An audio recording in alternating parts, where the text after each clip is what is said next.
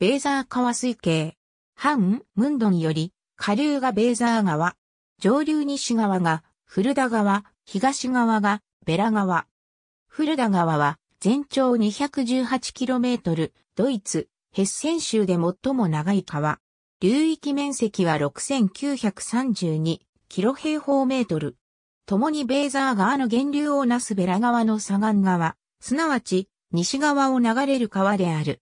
古田川はヘッセン州内の連産地、バッサークッペ山から湧出し、カウフンガーバルトとラインハルツバルトの間、三つの川の町と呼ばれる半ミュンデンまでを流れる。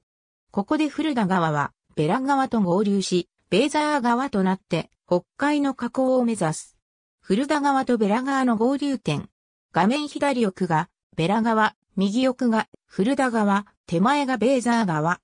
上流、ベッサークッペ山の山頂からわずかに南、標高850メートルの水源から古田川は南へ、フェルトベルク山の南斜面をガースフェルトまで流れ下る。6km の間に368メートルもの高低差を下る。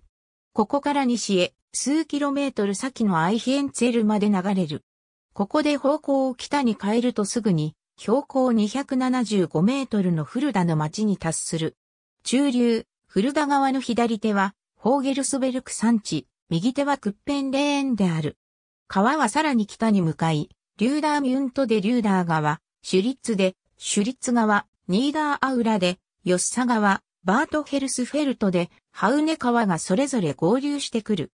ゾイリンクスバルトを抜け、さらに北へ向かって流れ、ベーブラ、ローテンブルクアンデアフルダ、バイゼ川が流れ込むマルスフェルトを過ぎ、オーバーイコールメルズンゲンでは、プフィーフェ川が合流する。さらに次のケルレではその南部でミュールミッシュ川が合流する。ベーブラ付近でフルダ川の方向が変わるのをフルダクニーという。クニュル山地とゾイリンクスバルトの間を北東に向かって流れていたが、川はシュテルチンガー山地を前に北西に向きを変える。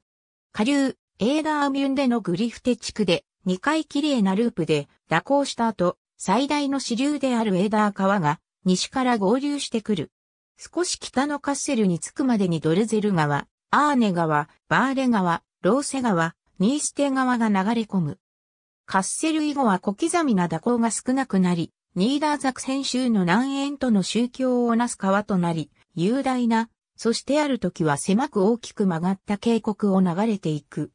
フルダタールのジンマースハウゼン地区でエスペ川が合流する。カッセルの 32km 下流、北東でフルダ川は、半ミュンデンに到着する。標高116.5メートル、ここでベラ川と合流し、ベーザー川となる。水源の村ポッペンハウゼン外説、フルダ川はそのほとんどの区間を深さの程度に違いはあれ、渓谷を流れるが、その両岸は増式砂岩質である。両側に森が広がり、ところによっては高い山となっている。この渓谷が開けるのは、カッセル盆地に出てからである。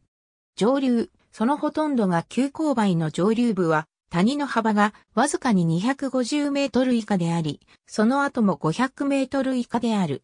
アイヒエンツェル付近、すなわち、フルダ付近では、谷は幾分その幅を広げるが、その後再び山の斜面の間を流れてゆく。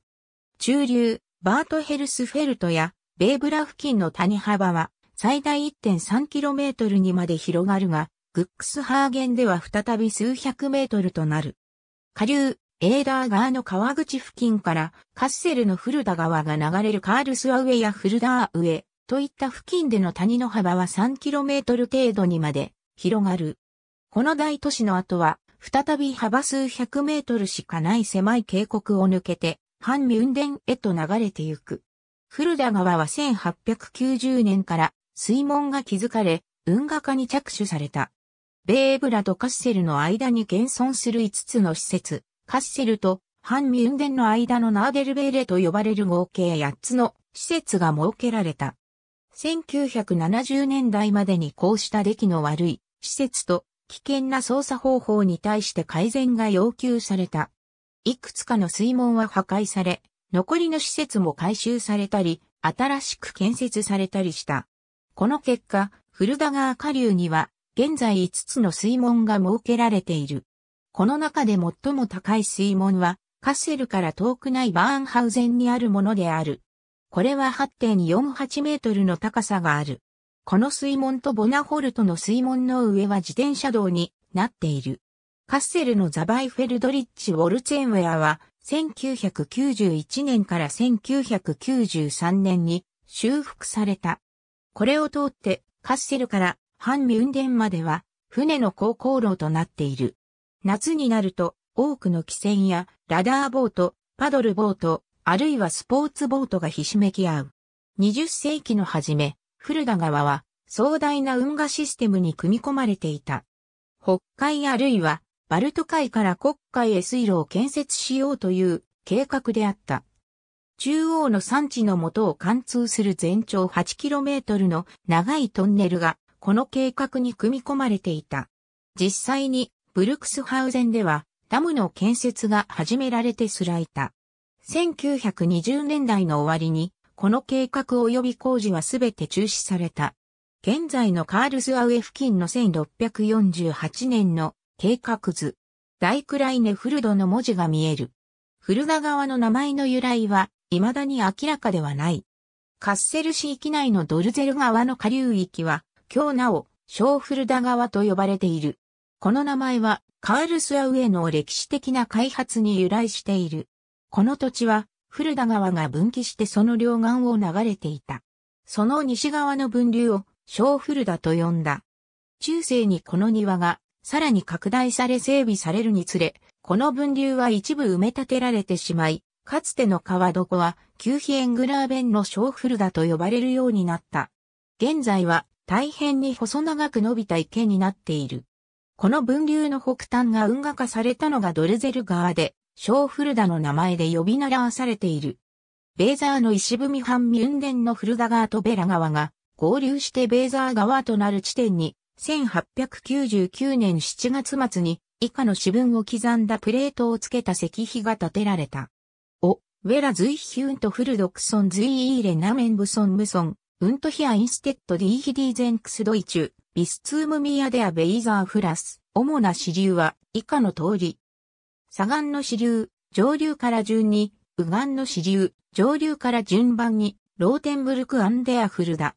古田川に沿って木組建築が立ち並ぶ。